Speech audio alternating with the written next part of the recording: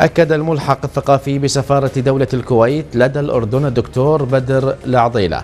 أكد اتباع المكتب الثقافي إجراءات دقيقة عند تصديقه على شهادات الطلبة الكويتيين الدراسية ومرورها بمراحل توثيقية وقانونية عدة لدى الجهات الرسمية والأجهزة الأكاديمية قبل اعتمادها بشكل نهائي.